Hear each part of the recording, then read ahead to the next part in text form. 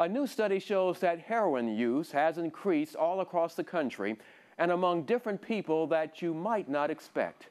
A WVUA 23's Jack Royer spent the day investigating the heroin epidemic here in Tuscaloosa and joins us now live in the studio with more. Jack. Philip, drug abuse doesn't discriminate. Throughout the country, drug task forces and treatment centers alike are attempting to curb an upswing in the heroin epidemic. It's a drug that's cheaper and more readily available than you might think. It's an old drug with a new problem and a new clientele. This is the same class of drugs as prescription painkillers. Dr. Tricia Whitty says it's not always the drug addict in the alleyway using heroin. It's the everyday people, the person next door, that starts with a prescription painkiller and can't stop. Well, the very next phase they're going to move to is heroin. It's a lot cheaper and it's surprisingly easier to get a hold of than a prescri- prescription pain pill is. According to the Centers for Disease Control and Prevention, heroin use among women has doubled over the past decade. Experts say these days it could be a housewife addicted to this hardcore drug. You know, heroin's a nasty drug. Agents with the West Alabama Narcotics Task Force say the work they do towards drug prevention is the best form of treatment. You've got to track this stuff down.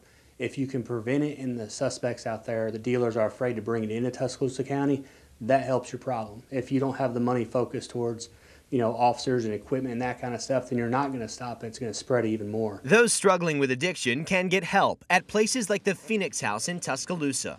Ronald Colvin is the executive director and a recovered addict himself. Well, it's a 90 day program. We like for them to stay 90 days. And uh, while they're here, we find them jobs, we put them back to work. He says there's still a long way to go. Heroin related deaths have quadrupled in the last 10 years. There were 8,200 deaths across the country in 2013 alone. Use of the drug has increased 60% among people making more than $50,000 a year. That's just 5,000 more than the median household income in Tuscaloosa County.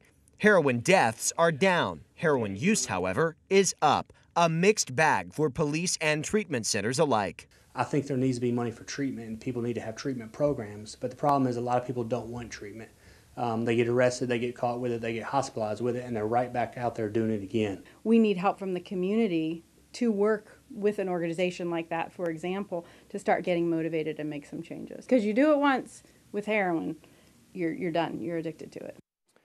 There is some disagreement between police and some treatment centers about how money should be spent. The Drug Task Force is not publicly funded, but instead operates on money that's seized from drug busts. Treatment centers like the Phoenix House receive some public funding, but their leadership told me today it's just not enough.